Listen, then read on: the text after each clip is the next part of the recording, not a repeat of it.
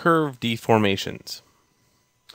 Okay, so what I have here is a curve, and I took that curve and extruded a few times. This is based upon a previous video I did. Um, if you're new, I just went curve, Bezier curve, hit tab.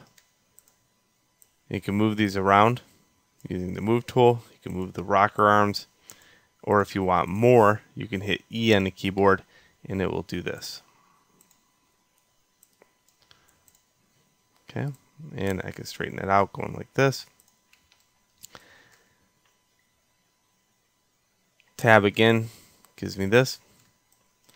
Also, what I want is this geometry to be shaped like this weird question mark thing. So I go to the geometry, which has division marks going all the way around. Okay.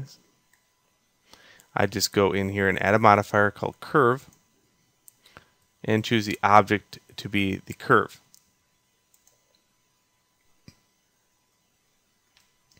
Since I want it in the Y direction, I choose Y and bam. Works out really good. Now, there's a secret to it. Notice how I put the origin two-thirds onto the curve. Okay. Watch what happens if I move the origin. Transform origin to geometry. Oh, not so good, right? Okay. So if I choose right about here with my 3D cursor, I can go Object, Transform, Origin to 3D Cursor. And it turns out really nice. It's just fun to play with. It'd be fun to animate that. Okay. Well, there's an alternative. It's not as fun to play with, but let me undo this modifier. And let's move this out of the way. The other alternative to this is create a curved circle.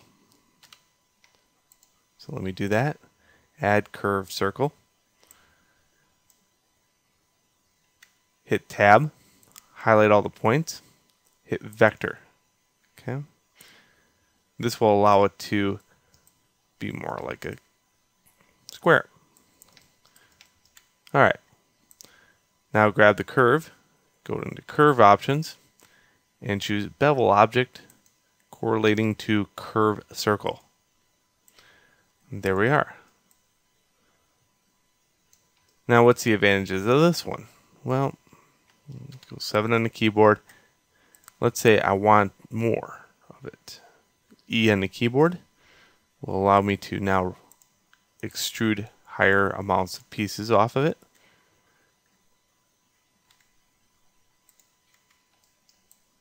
There we go.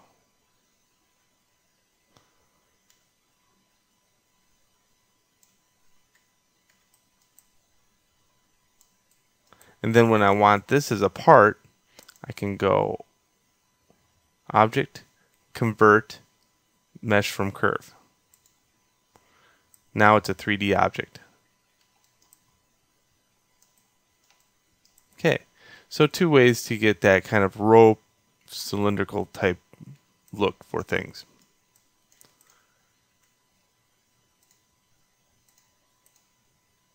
If you multi-res that, divide it, you now have a tube.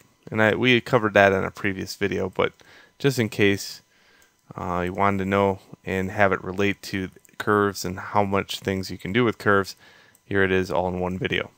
All right, enjoy, and let's go on to the next video.